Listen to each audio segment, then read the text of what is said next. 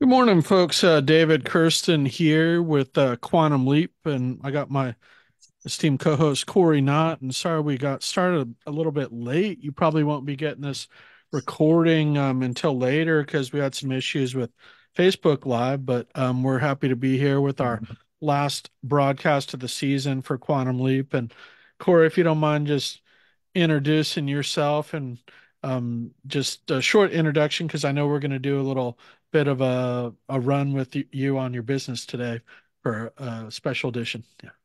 Great. Um, yeah, I'm Cory Knott, and I am co-owner of Take Wing Coaching, and I focus on business partnerships.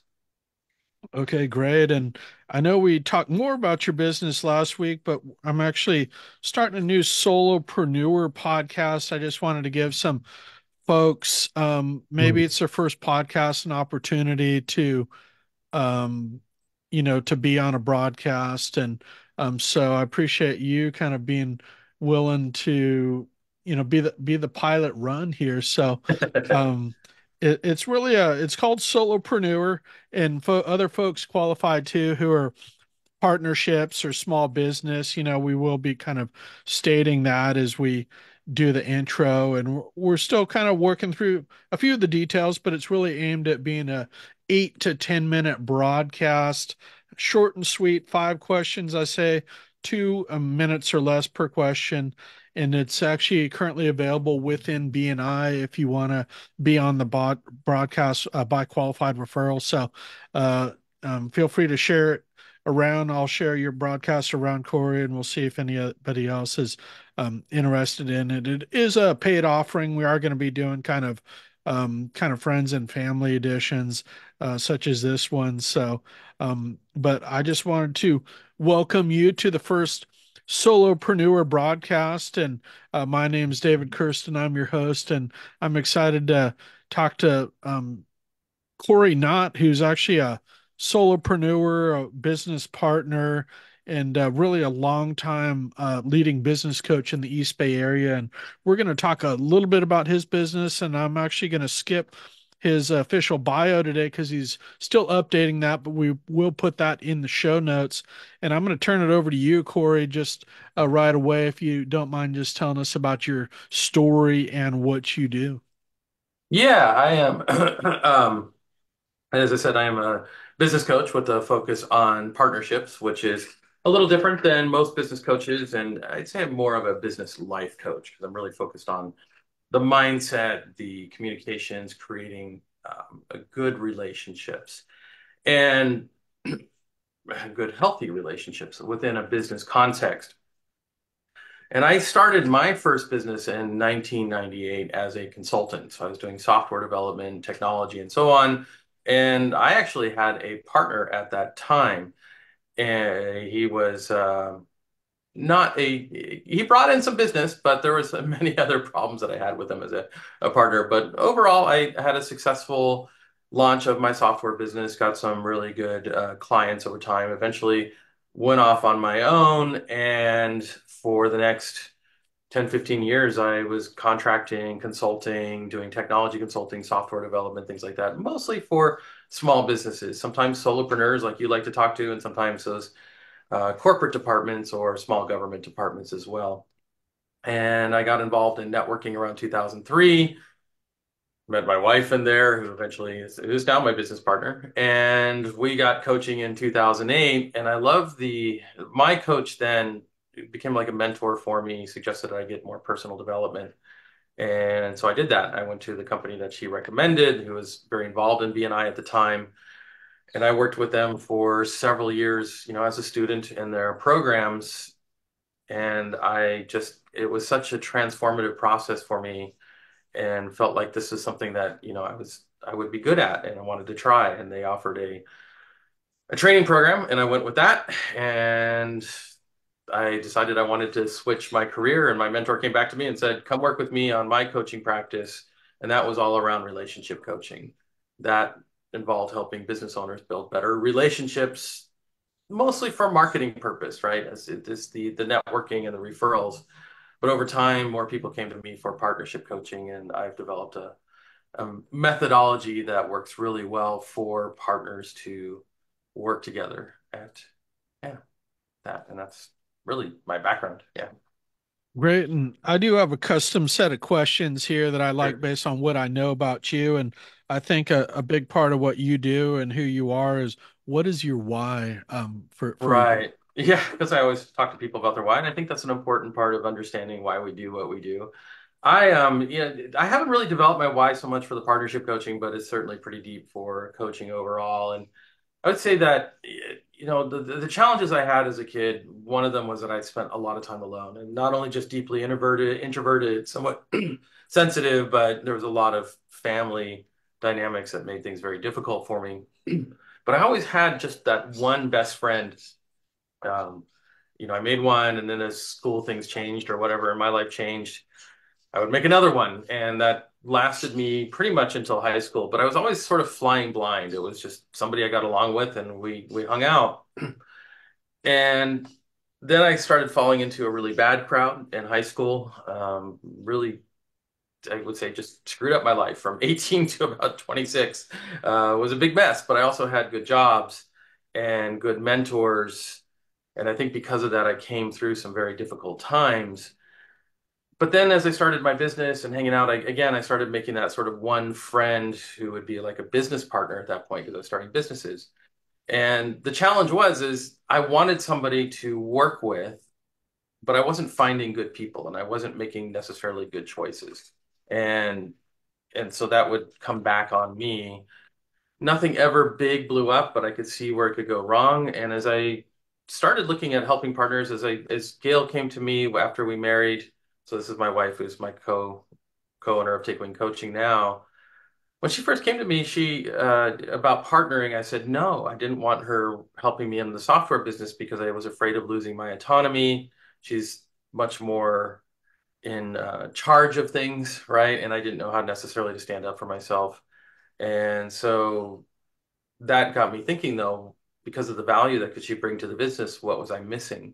So when we started the coaching business together, we decided to get coaching to help us, you know, see where our um, barriers would be, our conflicts would be. And we already had the relationship coaching experience. So we brought that all together to, I think, have a very good strategic plan and help us get along very harmoniously in our business. We, we have a lot of fun. And I don't think we would have had that if we didn't have that. So that coaching, and that's what I bring to people now. I want to make partnerships fun, valuable, rewarding, and um, because there's so much value that people can bring to business and to life by having a good partner.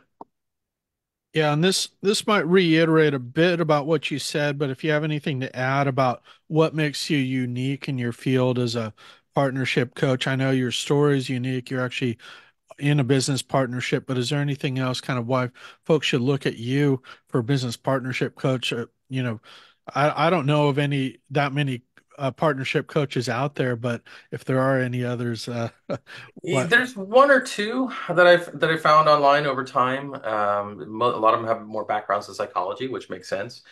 And because I think that kind of training requires it. There's not most business coach training, most life coach training is one to one.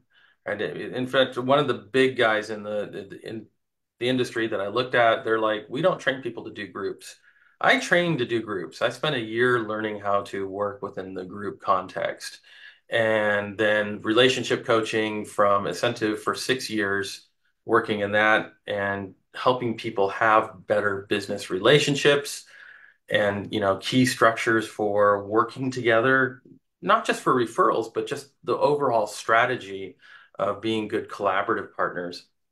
And so and now taking it into the co-creation, developing a methodology for synthesizing those vision, the values, the mission, all those things that so that each person feels like they're fully heard and fully invested in the business, right? There's not one person who's more um, more of the business than the other. I mean, they can structure things that way, but it's got to be intentional, right? Most people go into partnerships without a lot. They have an intention to build a business, but they don't have a lot of intentions for the partnership.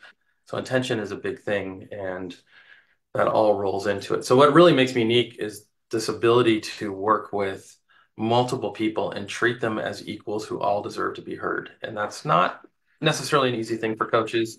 I think it was the one thing when we got coached, that bothered me about our coaches. he was playing favorites to a certain extent and and also pushing some culture. Uh, a lot of coaches come from a corporate background, so they tend to think people have to kind of fit into a mold versus be unique.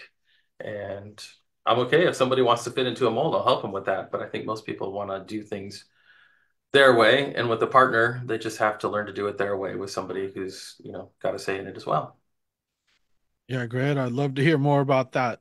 Um, working in groups, uh, that's a, such a valuable skill. And um, just to give people a little heads up about what the process looks like for working with you or maybe getting started to to to, to work with your partnership program. Yeah, I have kind of three ways to approach people. Coaching is a challenging thing sometimes for people to accept, especially if they're fairly new to the whole idea. The more and more people are getting coached in the corporate environment, so they're a little more open to the idea that um, maybe it's it's helpful for them.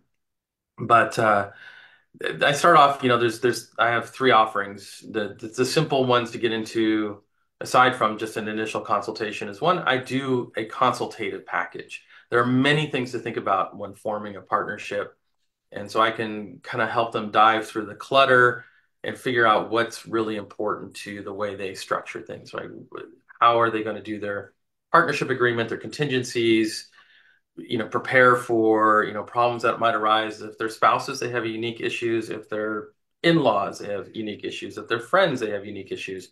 So I can help them sort that all out so then they can go to attorneys and other people to um, do the more expensive part that you probably don't want to pay for an attorney to do all that consulting with you. It gets very expensive. I am I, I don't charge nearly as much as they do, and I have a broader range of resources and information. And then the other option I have is I have a unique assessment tool for helping people work together. So I can assess their mindset and help them find where the conflicts are most likely to arise as two people trying to work together. And that is a fairly easy, it's multi-hour, it's it's a just a couple of hours of coaching, but we really get close to 20 hours of coaching inside those two hours. It's really cool.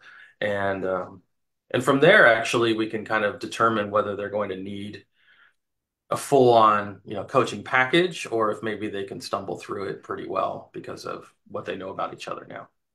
And then the, the full-on package is a year-long, very individualized, um, and then synthesized strategic planning process. Yeah. Okay, great to hear. And we will put your contact info in the comments. And last question of the day for you. Who is your ideal client who you're looking to work with out there? Yeah, I really like working with people who already know each other. And generally they want they they love like so their spouses, right? Or partners, you know, domestic partners, or they really like each other. Um, so, you know, family members or maybe people who are close in some way. And so ultimately they're designed to protect that relationship. Right? They they have that relationship and maybe there's even family harmony involved. They want to protect that relationship. They want to run a business. They want to maintain their own autonomy as well, because we as business owners like to be autonomous and, and have control, but two people trying to do that has challenges. So those are my favorite people to work with, where there's a there's I don't want to call it baggage, right? It's more like there's a there's a heavy load and there's a lot to risk, not just financially, but also emotionally. Excellent. Well, we look forward to putting the updated bio in the comments and also uh, some contact info if people want to reach out. And I want to thank you, Cory, for coming on for the first edition of uh, Solopreneur. Thanks for joining us. Okay, so that we're we're still gonna have a couple things we'll finish this broadcast with for for Quantum Leap because it is our last edition. I just wanted to, I was thinking about looking ahead to the fall, and I think sometimes it's better to just kind of sit with it for a couple months, take a few months off. We'll reconnect. It. We've actually talked about a, f- a few, at least a few different things that we want to do that are kind of would be new and innovative, I think. But I want to kind of um, do that, and then we'll maybe we'll go to lunch in a month or two and uh, kind of pick it pick, it up then. But I, I did offhand, I did want to say a couple more things that we've already talked about is just breaking new ground in some additional areas or doing more in some of the areas that we've really liked before. I think, um, you know, the book study, I've I've really enjoyed to get some more books featured. Um, the business partnerships, you know, I th I thought you we've kind of started uh, with those. Uh, business coaching, you know, there's that great Donald Miller book I was telling you about that just came out on business coaching. I feel like um, there's some more put room to run there. Of course, leadership, business marketing, and then networking, drilling down on more networking. I know you mentioned Mind Sonar too, that you're have some folks interested in doing Mind Sonar. So I was just curious if there's anything we should kind of um, bookmark right now as additional areas for Quantum Leap that or things that you'd like to see for next season. Yeah, I um I would also like to see some more new faces. Um, you know, there's there's definitely some people new in BNI, and there's always I, I think I think one I like it when we have people on who inspire others, right? You know, it's like wow, you know, these people are in business, and I there's definitely a lot of people out there who are looking to do that. So, um, or just feeling like they're not sure sometimes if they're doing the right thing. Uh, I know I've been in that situation, and uh, you know, maybe just some more resources that I think are more complex for people. I mean, you know, you have Lawrence on, which is great because there's so much to know about graphic design, and it's hard to know sometimes the value of what a designer can bring. And um, you know, there's a number of people that I'd like to see that I've been running into as as research because I had questions and I didn't always get them answered. And yeah, you know, you can Google this stuff, but you just get sold a bunch of things that don't make a lot of sense.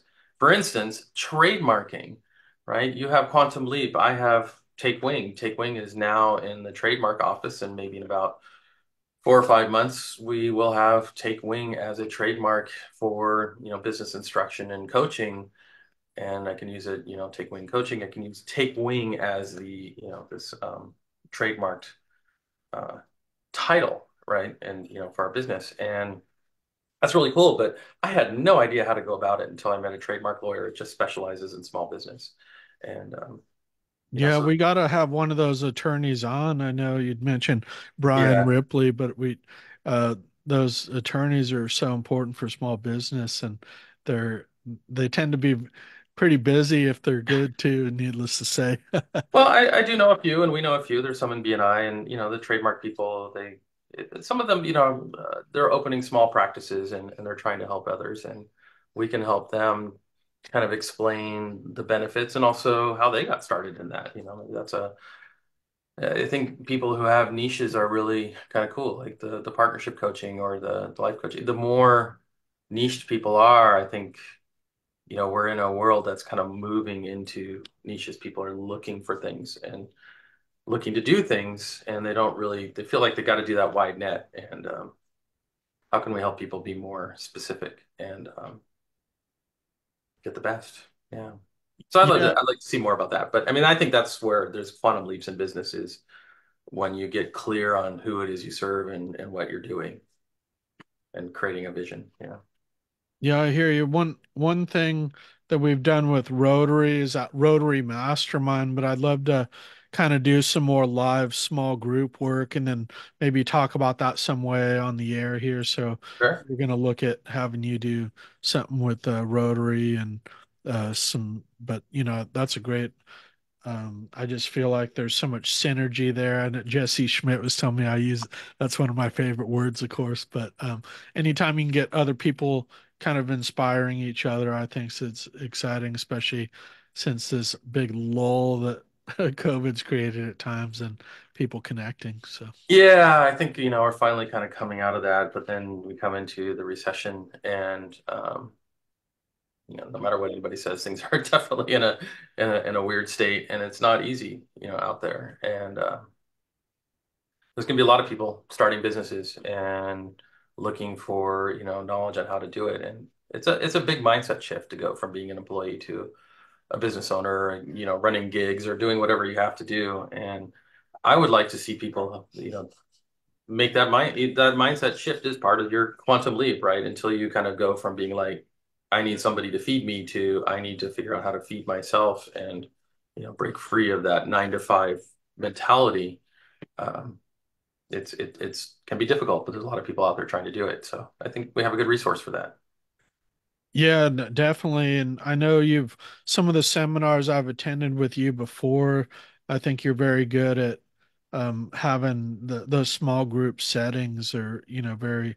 It's something that BNI does very well too. I think, uh, you know, Mike and Don, and so. Um, Well, I mean, they are my mentors. They're the ones who are, you know, started me down that path. And uh, yeah, I think it's Yeah, yeah, we I know we have a session in a week or two, so um we'll we'll put the photos from that as we um but we'll um we'll good. We'll we'll we'll connect about this stuff more and um we'll you know our current plans to resume at the end of September. We already have it scheduled, so we're gonna enjoy our break and kind of coming back with some new people, new energy, new ideas. I love that to kind of keep it from getting stale here and um keep it interesting. So, yeah, yeah. There's lots of things, lots of good things that we can do. Yeah. Okay, very good. Well, um, I guess we'll Thank you, leave it David. there for today. Good job putting this all together over the last year. David really does all the work. I don't, you know, I just come in and talk and probably too much. And you know, but it's David who does does all the work and gets us online and and you know, develop this whole thing. So um yeah, cheers to David and good job. And you know, if you want to do your own podcasting, do talk to David because it's a challenge to figure out how to do these things and then actually do it week to week to week. And uh so David has a a good is a is a good uh, companion for that, but I'm sure you can also be just behind the camera if you wanted to go solo. But we'll make sure it gets done and, and writes things up and helps you coordinate. So if you want to, you know, I'm just, I'm just going to promote you a little bit, David. Here is, you know, if you'd really like to make a quantum leap in your business and podcasting is your thing, which is something I also want to do on my solo thing, um, I think it, it, uh, definitely talk to David about getting it started, right? Like Eric has done with the ripple effect, and I know you're working with her on that. Um, but there's so much other opportunity, I think, for people to to do these things and work with you on how to make it happen. Yeah, yeah, great. yeah, No, I appreciate the testimonial. And that's what's been exciting is to kind of evolve it. And I, I do think you almost have to have somebody take the lead on certain things. And I actually love curating other ideas. So I kind of curate a lot of your ideas and the things you do. And then we, things that we maybe both know a little bit about, we kind of share and, you know, so right, um, yeah. but but very good. Well, thanks for that. And uh, folks, we're going to leave it there for today. And again, sorry this wasn't a live broadcast, but you're getting it here an hour or two late once we get off the air. We're leaving here at 11:20 Pacific on Tuesday, April 30th. Our last show, uh, Cory and David signing off uh, for this season of Quantum Leap. Thanks for listening, everyone. Thanks. David. Thanks, everyone.